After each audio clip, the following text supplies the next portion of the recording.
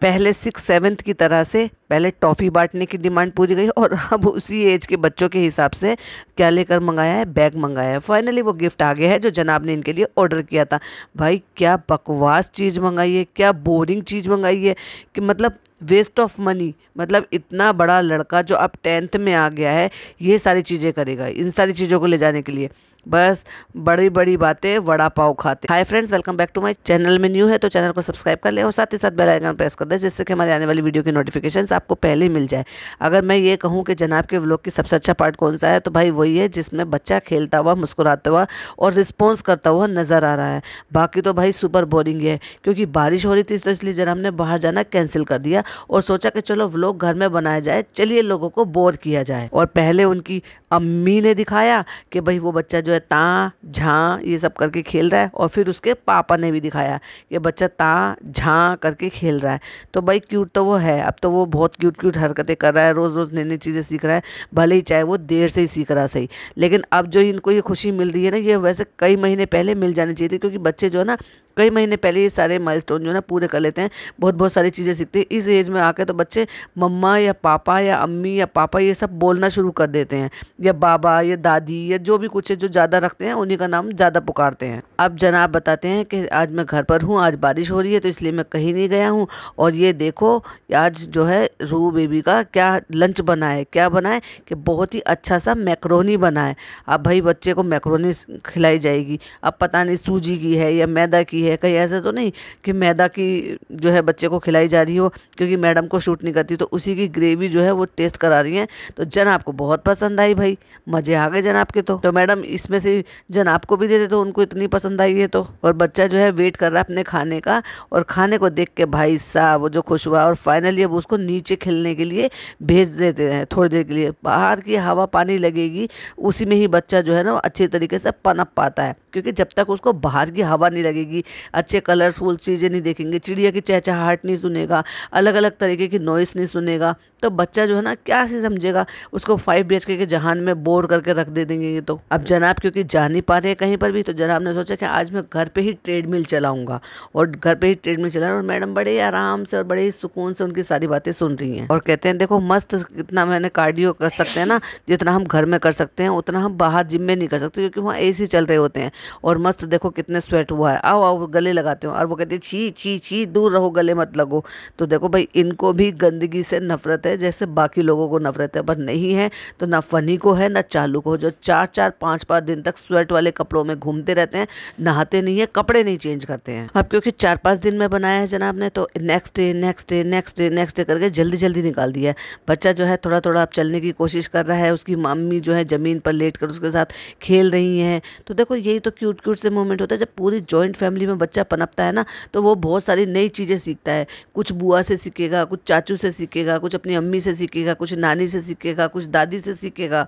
तो कह रहे हैं, मैं यहाँ पे बैठा हूँ, अभी प्रोटीन शेक पी रहा हूँ, उसके बाद मैं नहाने जाऊँगा। तो ये शेड कर दिया गया है अपनी बहन को कि भाई वो तो नहाती नहीं है, वैसे भी कमेंट वमेंट पर तो सबकी निगरानी रहती है कि कौन किसको क्या, किस तरीके के कमेंट कर रहे हैं। और फिर बताते हैं, ये भी यहाँ पे बैठा हुआ है भाई, इसी का कुछ तो नाम तो होगा और ये भी बता दो, अगर ये बैठा हुआ है तो ये यहाँ क्यों बैठा हुआ है? आपका व्लॉग एडिट करने के लिए बैठा हुआ है ना। पापा यहाँ पे वॉक कर रहे हैं। कोई पापा से पूछना नहीं, गचना नहीं, कुछ उनको इन्वॉल्वमेंट नहीं और पापा को भी कोई मतलब नहीं है। बस अपना बेचारे वो जो जो उनको फुट स्टेप पूरे करने हैं, वो फुट स्टेप पूरे कर रहे हैं। और अब फाइनली जब उसका नाम पुकारते हैं तो बच्चा पलट कर देखता है और कट्टू अगले सीन में कहते हैं, तुमने वॉक नहीं की? तो उनको चिड़ाते हुए कहती है उंगली दिखा के, मैंने तो आज सुबह ही कर ली थी मॉर्निंग में, आपने नहीं करा। और बचकानी हरकतें। अब तो बच्चा भी अब ये हरकतें करने लायक हो गया है तो मैडम अब तो छोड़ दो प्लीज़ अंगूठा दिखा दिखा के चिड़ा चिड़ा के ओ माई गॉड जैसे छोटे बच्चे करते हैं ना, बिल्कुल वैसे। और जन, आपको ये भी नहीं पता होता है कि वो व्लॉग चला गया है या नहीं गया है, जबकि आज ये वीडियो जाने वाला है तो उस क्लिपिंग को पार्ट को जो है ट्रिम करवा दिया होता है, क्योंकि मैडम का ऑलरेडी दो दिन पहले तंदूरी चाय का आ चुका है। तो कहते हैं, इन्होंने पता नहीं व्लॉग वो डाला है या नहीं डाला है, या आज जाएगा। तो इन्होंने तंदूरी चाय बनाई थी, जिसका पचका हो गया है। कहती नहीं, चाय को तरस आ गया था, और फिर चाय वो उबल गई थी बाद में। देखा था हमने, क्योंकि आपके पास भी करने को कुछ नहीं थी तो आपने तंदूरी चाय बना डाली। हालाँकि ये क्लिप आप जो है देख चुके होंगे, लेकिन आज ये मेरे साथ खेल रहा था तो मुझे बड़ा क्यूट लगता है। और ता ता करके बच्चा जो है वो कपड़े से ढककर अपने पापा के साथ खेल रहा था। मैंने कहा ना, जब बच्चा खेलता है और जब बच्चे मुस्कुराता है ना, वो मोमेंट इनके व्लॉग के सबसे अच्छे होते हैं। बाकी तो दोनों मैडम और जनाब को सिर्फ़ बोर करने के अलावा आता नहीं है कुछ भी। कुछ नया नहीं सोच सकते, कुछ क्रिएटिव नहीं सोच सकते, कुछ कंटेंट नहीं निकाल सकते। अरे भाई, मम्मी है तुम्हारी, पापा हैं तुम्हारे, अम्मी भी आ जाती हैं। अब तो पिज़्ज़ा नान भी आ जाते हैं। तो उनसे मिलकर कुछ कंटेंट निकाल लेते, कुछ मौज मस्ती कर लेते, कुछ छेड़खानी कर लेते, कुछ तो करते, जो मोर एंटरटेनिंग लगता। अरे, बुहान पापा कहाँ है? बुहान पापा कहाँ है? पापा क्यों? अब्बा कहलवाओ ना, अब्बू कहलवाओ। भाई, तुम अम्मी हो तो वो डेफिनेटली अब्बू कहलवाने पसंद करेंगे ना। और अब वैसे भी हमारे इस्लाम में तो पापा कहते भी नहीं है, अब्बू और बाबा ही कहते हैं तो वही कहलवाओ। अब इस्लाम में आके खुद को मम्मा ना कह के, मम्मी ना कह के, अम्मी कहलवा रहे हो तो भाई उनको भी तो अब्बू कहलवाओ? नहीं, madam this is not fair please उनको अब्बू कहलवाओ। कितना अच्छा लगेगा ना, जब वो पहला शब्द बोलेगा, अब्बू। कितने लोग एग्री करते हैं कि बुहान को अब्बू बोलना चाहिए, ना कि पापा बोलना चाहिए। अगर वो अम्मी हैं तो डेफिनेटली ये अब्बू हैं तो उनको अब्बू ही बोलना चाहिए। और अगर हाँ तो प्लीज़ कमेंट में बताइए। अब बहुत सारे लोग कहेंगे, क्या ही फ़र्क पड़ता है? कुछ भी कह सकते हैं, प्यार से बच्चा जो भी पुकारे तो फिर कुछ भी कह सकता था। तो मम्मा शब्द जो होता है, वो सबसे छोटा शब्द होता है। बजाय इसके कि अम्मी कहना तो फिर अम्मी क्यों कहलवाया?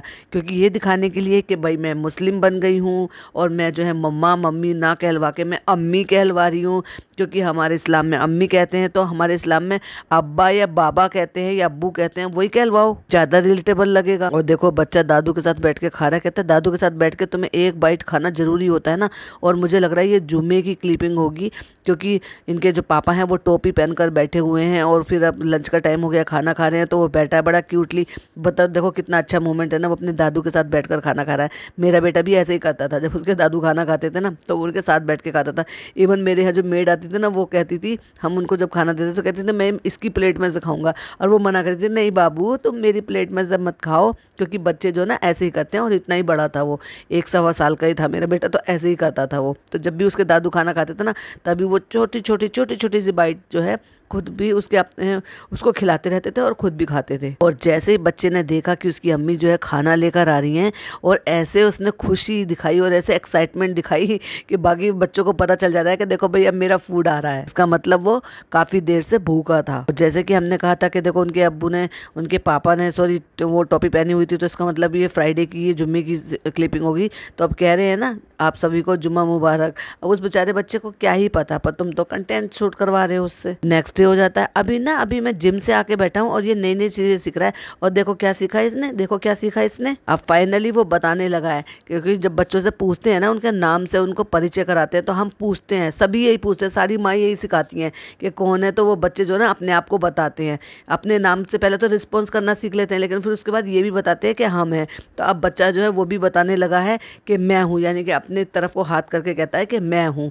तो ये भी मतलब एक बहुत ही क्यूट मोमेंट था। कि जब वो धीरे धीरे करके और चीज़ें सीख रहा है और वो और भी, माशाल्लाह, अच्छे से इसी तरह से ग्रोथ करे और अच्छी अच्छी चीज़ें इसी तरह से सीखे और भाई अपनी बुआ जैसा बिल्कुल भी मत बनी हो वैसे भी उसको बड़ी प्रॉब्लम थी जब ये कहा जाता था कि ये तो बुहान तो अपनी बुआ पे गया था। नहीं, मेरे जैसा तो नहीं है, मेरे जैसा तो नहीं है। तो भाई अब अपनी शक्ल से मिला लो, वो माशाल्लाह कितना ज़्यादा क्यूट है। और तुम्हें तो वैसे भी तुम्हारा शोहर जो है बंदरिया कहते हैं कि तुम बंदरिया हो। पता नहीं भैया उसको क्या एलर्जी थी, जब लोग कमेंट करते थे ना पटाख से मना करते थे, नहीं, मेरे जैसा नहीं है, वो तो भाभी जैसा है, वो तो भाभी जैसा है। तो भाभी क्या तुम्हारी कम सुंदर है क्या या तुम अपने आप को ये समझो कि मैं भाभी से ज़्यादा सुंदर हूँ? अब भैया फिर नेक्स्ट डे हो गया, ऐसे नेक्स्ट डे नेक्स्ट डे करते चार पाँच दिन हो गए चार पाँच दिन से मैं क्लिपिंग शूट कर रहा हूँ, क्योंकि तुम्हें कंटेंट मिला ही नहीं है एक ब्लॉग के लायक। तुमने उन्नीस मिनट का कंटेंट डाला है, लेकिन उस उन्नीस मिनट के कंटेंट में तुमने ज़्यादातर क्या दिखाया है? सिर्फ़ और सिर्फ़ ये सब करके दिखाया है। अब मैं बर्फ़ में वो कर रहा हूँ, अब मैं आइसिंग कर रहा हूँ, अब मैं फेस पैक बना रहा हूँ, जो ऑलरेडी फेस पैक मैडम लगा चुकी थी कि कॉफ़ी में लगाओ, वहाँ लगाओ, ना, नहीं करना करना है। कॉफ़ी अच्छी तो नहीं होगी मेरा चेहरा ख़राब तो नहीं हो जाएगा हो जाएगा, ठीक हो जाएगा, चलो तुम लगाओ, चलो मैंने कहा ना तुम लगाओ तो ज़बरदस्ती कह के मैडम ने वो फेस पैक लगवा लिया, फिर आइस ले आई हैं, कटोरे में डाल दिया है तो फिर वही नौटंकियाँ सो मच नौटंकियाँ दोनों की, और क्या डाला? हालत ख़राब। और इस तरह का कैप्शन लगा के स्क्रीन शॉट लेके व्लॉग से ऐसे लगाया कि जिससे लोगों को लगे ओ माई गॉड अब इनको क्या हो गया?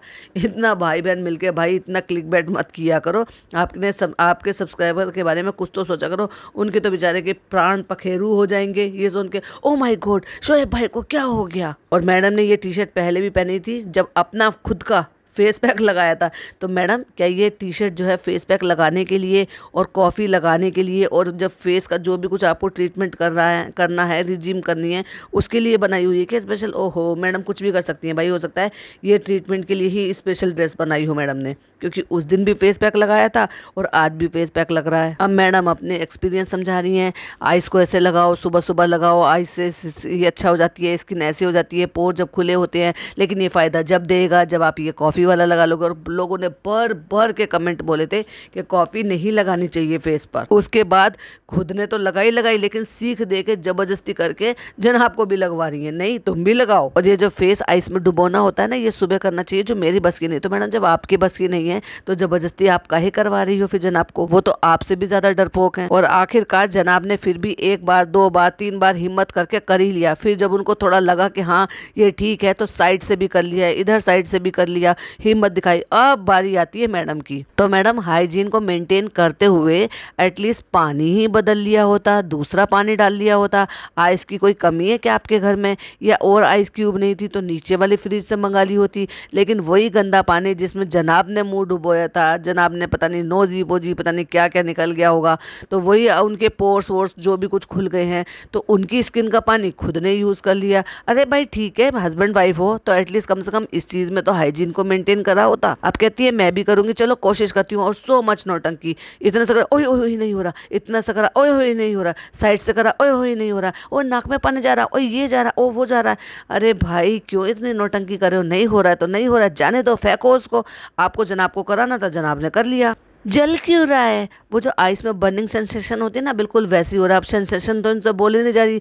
बर्निंग पॉइंट होता है ना, बस वैसे ही हो रहा है। हाँ हाँ हाँ हाँ।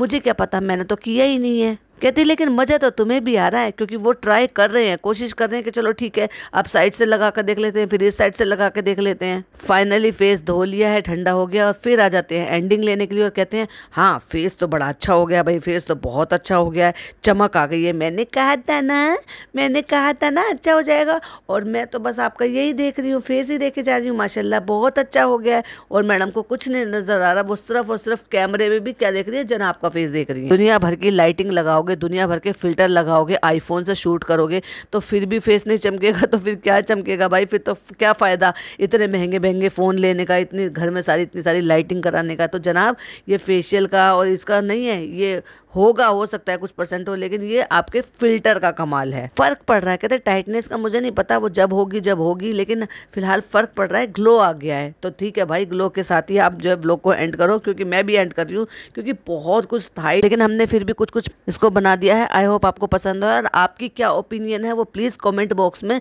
ज़रूर शेयर कीजिएगा, क्योंकि मुझे भी जानने की क्यूरसिटी रहती है कि कोई मैंने मिस तो नहीं कर दिया या मैंने कोई पॉइंट तो नहीं छोड़ दिया, या आपको ये व्लॉग देखकर कैसा लगा तो प्लीज़ अपनी ओपिनियन मेरे साथ कमेंट बॉक्स में ज़रूर शेयर कीजिएगा। चलिए मिलती हूँ नेक्स्ट वीडियो में। टिल देन बाय बाय अल्लाह हाफिज़ टेक केयर